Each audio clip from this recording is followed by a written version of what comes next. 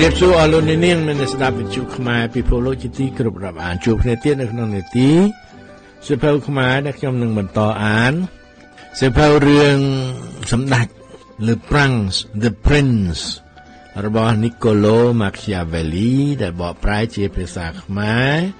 ដោយលោកបណ្ឌិតខូគឹមទូយពីរដ្ឋ Minnesota បាទថ្ងៃនេះចូលដល់វគ្គទី17 ក្រោមចំណងជើងថាអំពីមេគាធ្វើទារុណកម្មនិងអត់ឱនទោសព្រមទាំងការសម្រេចថាឲ្យគេស្រឡាញ់ឬឲ្យគេស្អប់ដែលមានសេចក្តីដូចតទៅបាទឥឡូវយើងពិនិត្យគុណសម្បត្តិផ្សេងទៀតដែលយើងបានអធិប្បាយពីមុនមកខ្ញុំប្រកាសណាថាសម្ដេចម្នាក់ម្នាក់ត្រូវចង់ឲ្យគេមើលមកឃើញថាមានមេត្តាធម៌ហើយមិនខូរខើ ប៉ុន្តែសម្ដេចត្រូវប្រយ័ត្នកុំប្រើមេត្តាធម៌នេះខុសរបៀបសេសាប៊ូសាត្រូវគេមើលឃើញថាជាមនុស្សខូខើប៉ុន្តែអំពើខូរខើរបស់ទ្រង់បានបណ្ដាលឲ្យមានរបៀបរៀបរយនៅរ៉ូម៉ាញ៉ាបង្រួបបង្រួមឲ្យទៅជាប្រទេសមួយនឹងធ្វើឲ្យរ៉ូម៉ាញ៉ាមានសន្តិភាពព្រមទាំងមានភក្តីភាពផងបាទទាំងនេះជាព្រឹត្តិការណ៍ល្អគេឃើញថាសេសាប៊ូសា ពិតជាមនុស្សមានមេត្តាធម៌ច្រើនជាងពួក Florentine ពួក Florentine ទុកឲ្យគេកំទេច Pistoia ដើម្បីជៀសវាងកុំឲ្យគេថាពួកខ្លួនខូរខើដូច្នេះសម្ដេចមិនត្រូវបារម្ភពីគេចោទថាមានចិត្តខូរខើនោះទេបើអំពើខូរខើជាមធ្យោបាយសម្រាប់រក្សាសេចក្តីសាមគ្គីនិងភក្តីភាពព្រោះថា លើកលែងតែឧទាហរណ៍ទួយតាចេញសម្ដេចនឹងមានមេត្តាធម៌ច្រើនជាងអ្នកដែលទុកឲ្យសុភាពការប្រែទៅជាអាណាធិបតេយ្យដែលកើតឡើងបានបណ្ដាលឲ្យមានការបង្ហូរឈាមនិងការរឹបយកទ្រព្យសម្បត្តិដោយមកពីមានសេចក្តីទន់ភ្លន់ហួសខ្នាតពេក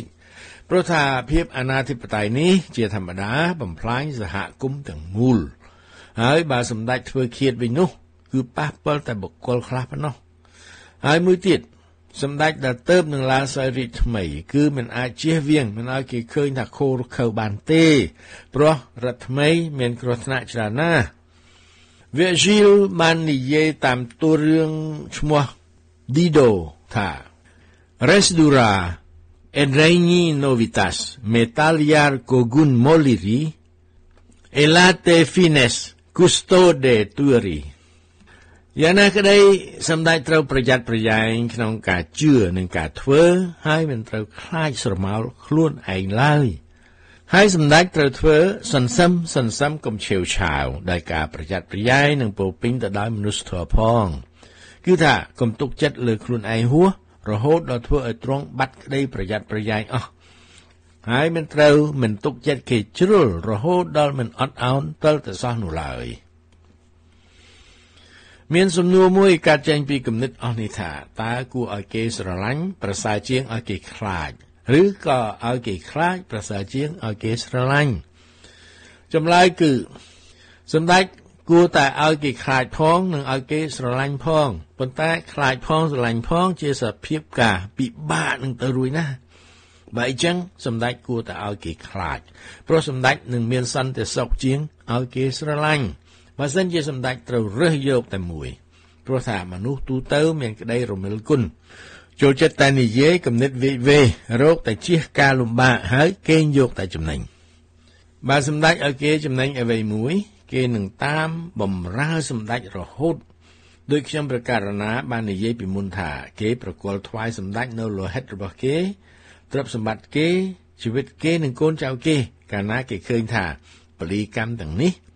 មិន ជាចាំបាច់ក្នុងពេលអនាគតឆាប់ឆាប់នោះទេតែពេលដែលចាំបាច់ត្រូវធ្វើពលិកម្មទាំងនេះមកដល់ហើយ គេបះបោមិនព្រមទេ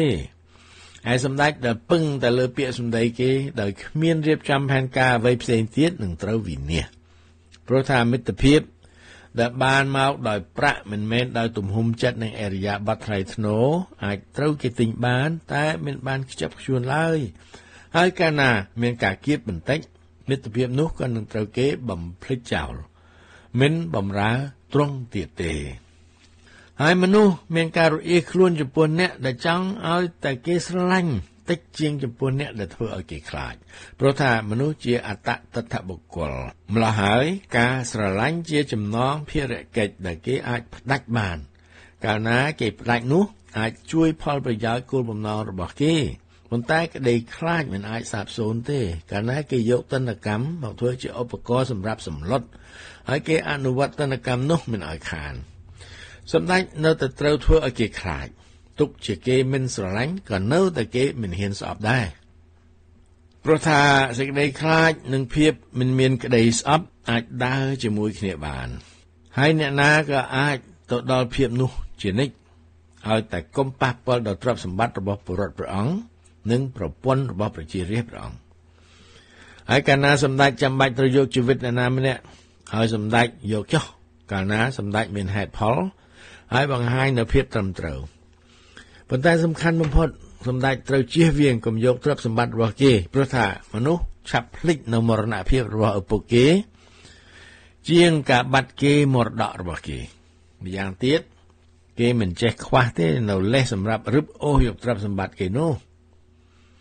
ហើយអ្នកណាដែលប្រព្រឹត្តអំពើរឹបអូសយកទ្រព្យសម្បត្តិគេ ចេះតែរកលេសយកអីវ៉ាន់គេបានជានិច្ច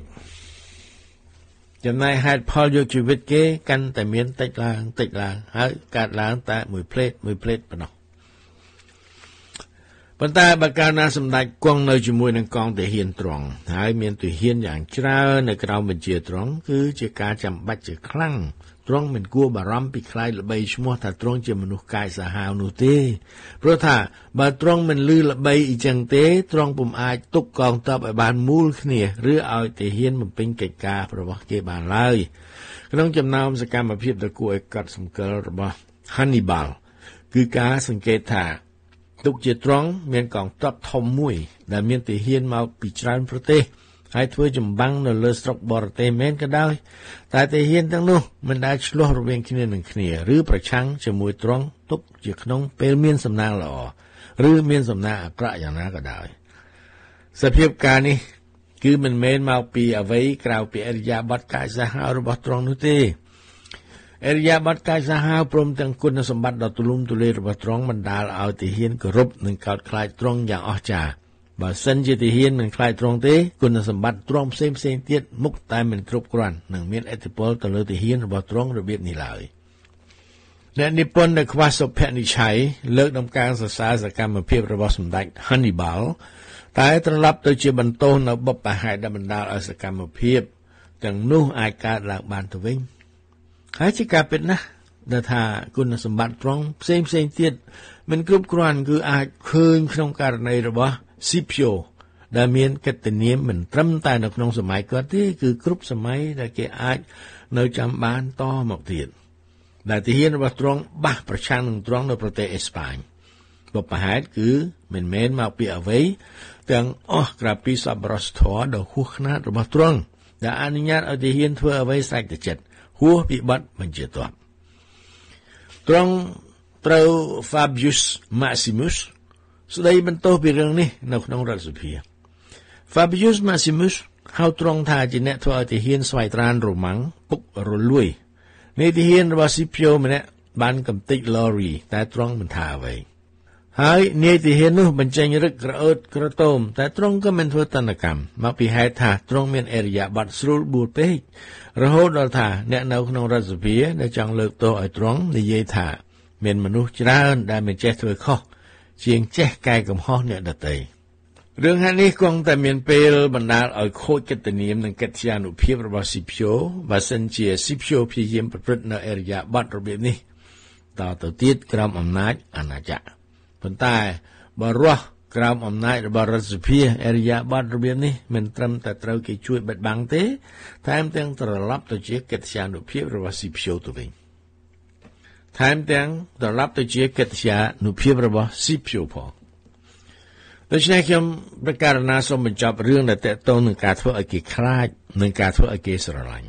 សេចក្តីស្រឡាញ់របស់មនុស្សពឹងពាក់ទៅលើសេរីភាពផ្លូវចិត្តរបស់គេប៉ុន្តែសេចក្តីខ្លាចរបស់មនុស្សពឹងពាក់ទៅលើឆន្ទៈរបស់សម្ដេច ហើយសម្ដេចដែលមានសុភនិច្ឆ័យត្រូវពឹងលើអ្វីដែលស្ថិតក្នុងអំណាចរបស់ព្រះអង្គមិនមែនលើអ្វីដែលស្ថិតនៅក្នុងអំណាចអ្នកដទៃនោះទេហើយសម្ដេចត្រូវតែខំធ្វើយ៉ាងណាជៀសវាងកុំឲ្យគេស្អប់ដោយបានអធិប្បាយរួចមកហើយ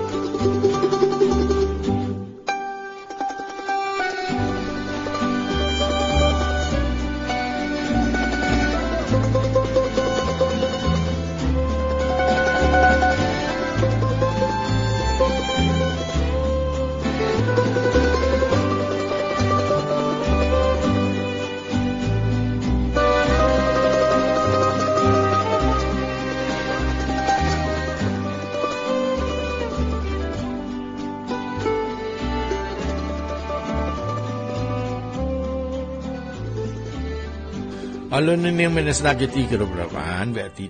17នៃសភៅរឿងសម្ដេចដោយនីកូឡូម៉ាខ្យាវេលីមកប្រែដោយលោកគូគឹមទួយក៏អេវ៉ាំងតែប៉ុណ្ណេះបាទថ្ងៃក្រោយខ្ញុំនឹងលើកយកវគ្គទី18ក្រោមចំណងជើងថាតើរបៀបណាខ្លះដែលសម្ដេចត្រូវមានជំនឿជានិច្ចយកមកអានជូនលោកនាងស្ដាប់បាទនេះគឺជាគម្ពីរសម្រាប់មេដឹកនាំមេដឹកនាំពិតប្រកប ដែលមានទស្សនវិស័យវែងឆ្ងាយត្រូវតែដឹងរឿងអស់នេះបាទជាការរួបរวมបទពិសោធន៍ច្រើនរយឆ្នាំ តាំងតែពីសតវត្សទី16មកម្លេះបាទអរគុណលោកនាងដែលតាមស្ដាប់និងជួប